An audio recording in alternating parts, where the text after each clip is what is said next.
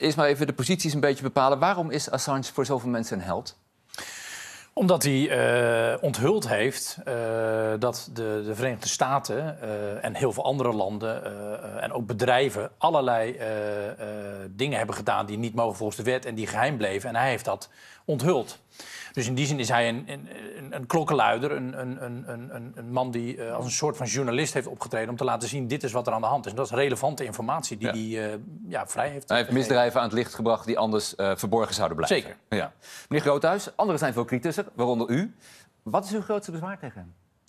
Nou, kijk, meneer Verhoeven zegt van het is misschien een klokkenluider, maar een klokkenluider ben je van binnenuit een organisatie en dan geef je iets aan. Maar hij komt niet van binnenuit een organisatie. Het tweede is, zal journalist zijn, maar hij dumpt gewoon rauwe data, bijvoorbeeld gehackte data of anderszins diplomatieke cables, die dumpt hij online zonder dat daar journalistieke inbedding in zit. Hmm. Dat vind ik bezwaarlijk. Ongefilterd. Ja, en bovendien doet hij dat ook selectief. Dus in de verkiezingen rondom Trump in 2016 heeft hij ervoor gekozen om wel allerlei data te, te, te dumpen, zomaar die de Amerikanen beschadigden, maar niet 65 gigabyte, een interne maildump van het ministerie van Binnenlandse Zaken van Rusland. Waar dus hij, allerlei misstanden hij, hij in Rusland. heel bewust wat hij wel en niet doet. Zeg. Voilà, bovendien heeft hij contact gehad met de militaire inlichtingendienst van Rusland. Heeft ook Mueller in 2019 aangetoond. Uh, zowel met degene die al die informatie heeft gelekt, die de Democraten in discrediet brachten, uh, als wat anderen. Dus ik vind het nogal uh, kwalijk. Ja, en bovendien, even... kijk, laten we ook even zeggen, hij is gewoon hij, heeft hij wordt aangeklaagd omdat hij het Pentagon heeft gehackt met een computer. Dat is computervredebreuk. Er zijn gewoon wel serieuze aanklachten.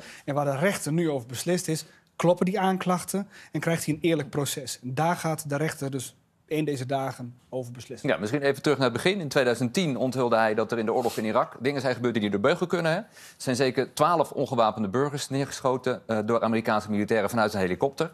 Amerika wilde dat geheim houden. Assange heeft het uh, onthuld. Ja. ja. dan, hoe moet je dat wegen? Dat is dan de vraag waar we voor staan. Ja, maar dat is ook verschrikkelijk lastig. Uh, er spelen zoveel dingen een rol in deze zaak dat het heel moeilijk is om hier een oordeel over te vellen. De, rechter, de, rechter moet het wel doen nu. Ja, maar goed, dat is aan de rechter om dat te doen. En die zal een heleboel dingen meewegen. Uh, als hij wordt uitgeleverd, dan is de kans uh, op, een, op een eerlijk proces. Want ja, die grote zegt van ja, dan, dan gaat de rechter een uitspraak doen de kans op een eerlijk proces wordt door heel veel organisaties betwijfeld. Dus als hij uitgeleverd wordt, dan, dan komt hij echt in grote problemen. Uh, dus dat zou voor hem een, een, hele zware klap zijn. Amerika zorgt niet voor een eerlijke rechtszaak, zegt u? Nou, de, de kans dat, dat, dat er zoveel kwaad bloed gezet is in de Verenigde Staten... en dat het rechtssysteem niet alleen maar objectiviteit uh, oplevert... die is natuurlijk serieus aanwezig. Dat zeggen bijvoorbeeld organisaties Amnesty International, ja. die benaderen.